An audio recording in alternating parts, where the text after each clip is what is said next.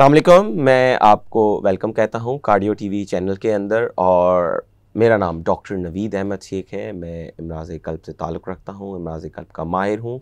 National institute of cardiovascular disease के अंदर registrar के तौर पे अपनी ड्यूटीज़ को सर अंजाम दे रहा हूँ। उसके साथ मैं पोस्ट ग्रेजुएट स्टूडेंट हूँ हार्वर्ड यूनिवर्सिटी के अंदर फाउंडेशन ऑफ़ क्लिनिकल रिसर्च में। और इसके साथ साथ मैं पिछले सात साल से ए और बी का इंस्ट्रक्टर हूँ। College of physician and surgeon Pakistan के अंदर फ्राम अमेरिकन आर्ट एसोसिएशन आज के जो हमारी डिस्कशन है, वो एक बड़ी ज़बरदस्त डिस्कशन है। वो स्ट्रोक के हवाले से, फालिश के हवाले से और उसके अंदर जो हमारे मेहमान हैं, वो एक बहुत ही खूबसूरत इंसान भी हैं डॉक्टर भी हैं। वो जो है एक बहुत अच्छी पाकिस्तान की one of the famous neurologist भी हैं और वो एक बहुत खूबसूरत दिल रखने वाली खातून भी हैं। हमारे साथ हैं डॉक्टर फोजिया सिद्दीकी। डॉक्टर फोजिया सिद्दीकी आगा खान के अंदर as professor of neurology practice कर रही हैं और इसके साथ साथ ये स्पेशलिस्ट हैं एपिलेप्सी के अंदर भी और इसके साथ बहुत ज़बरदस्त जो इनकी एक मूवमेंट है, जो इन लोगों ने पूरे पाकिस्तान को दहला देने वाली मूवमेंट चलाई, मैडम आफिया सिद्दीकी के लिए जो इनकी बहन भी हैं, ये उसको भी चेयर कर, ये उनको भी चेयर कर रही हैं। और आज हम बात करेंगे स्ट्रोक के हवाले से तो मैडम अस्सलाम वालेकुम। वालेकुम डॉक्टर नवीद आपके इंट्रोडक्शन का शुक्रिया।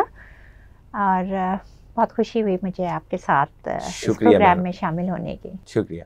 अच्छा मैम सबसे पहले तो हमें ये बताएँ कि ये स्ट्रोक और फॉलेज ये फालिज होता क्या है? आखिर मतलब ये किस बला का नाम है? क्योंकि सब लोग डरते हैं कहते हैं फालिज हो गया हो जाएगा फालिज थोड़ा इसको हमें फैम मायने में बताएँ कि क्या होता है। जी बिल्कुल। हम देखें स्ट्रोक जो है ना असल में आ, जिसको उर्दू में हम फालिज कहते हैं जी। ये होता एक वक्त था कि हम लोग दिमाग और दिल को एक ही उसमें रखा करते थे कि दिल रुक गया तो सब कुछ रुक गया शायद फालिज भी दिल से होता है दिल चाह रहा है तो ये हो रहा है। लेकिन दिमाग जो है जो इंसान का जहन है वो कंट्रोल करता है बॉडी को। तो वो बॉडी के मुख्तलिफ़ हिस्सों को मुख्तलिफ़ दिमाग के पार्ट्स करते हैं। अगर दिमाग के अंदर उसके जो शरियाने जो दिल जो खून का सप्लाई कर रहा है अगर उन शरियानों में कोई ब्लॉकेज हो जाए तो जिस एरिया को वो खून जा रहा है वो एरिया काम करना बंद कर देगा। अब फ़र्ज़ करें वो हाथ का एरिया है तो हाथ काम करना बंद हो जाएगा मफलूज हो जाएगा और फालिज हो जाएगा। तो बेसिकली एक ख़ास मेजर किस्म स्ट्रोक की जिसको आम असलाहत में स्ट्रोक कहते हैं वो दिमाग की किसी शरियान के बंद हो जाने की वजह से होता है। लेकिन इसी तरह का फालिज और बाजू या पाँव या चेहरा चेहरा उतर जाए या पूरा आधा जिसम या डिपेंडिंग के कहाँ कहाँ की जो शरियाने हैं जो आर्टरीज हैं वो ब्लॉक हो गई। अगर इसी तरह से अगर वो ब्लॉक नहीं बल्कि फट जाए सही। और हेमरेज हो जाए तो भी एंड रिज़ल्ट वही होगा देखने वाले को फालिज ही होगा वो हेमरेजिक स्ट्रोक होगा। ठीक है।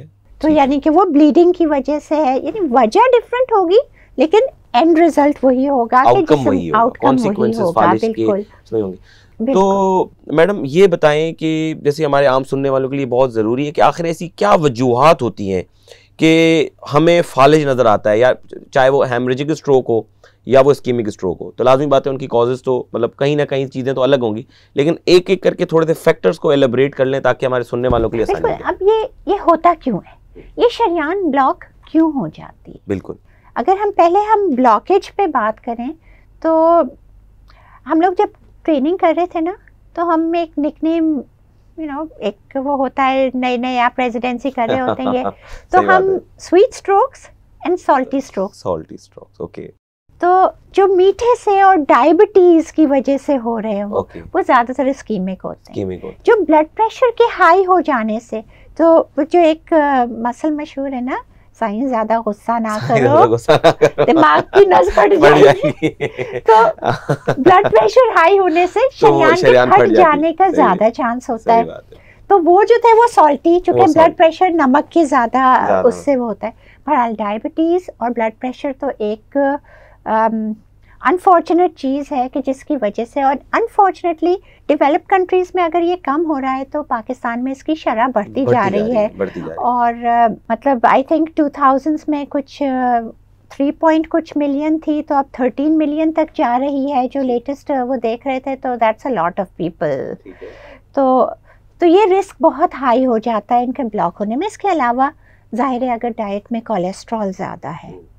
तो डाइट बहुत अहमियत रखती है जो फ़ूड हम खा रहे हैं तो quality of the food is actually quality of the food जो हम खा रहे हैं उसमें बहुत ज़्यादा तो कोलेस्ट्रॉल और लिपिड्स और जो ख़राब वाली कोलेस्ट्रॉल होती है उसका भी एक बहुत बड़ा रोल होता है इसमें। तो हाइपरलिपिडीमिया है और इसके अलावा हमारे यहाँ ये जो गुटखा निस्वार और भरी हुई सिगरेट और ये सब चीज़ें इसका तो हमने देखा भी नहीं है कि इसकी वजह से कितना इंसिडेंट हमारे यहाँ ज़्यादा हो गया है but this is a major cause hookah.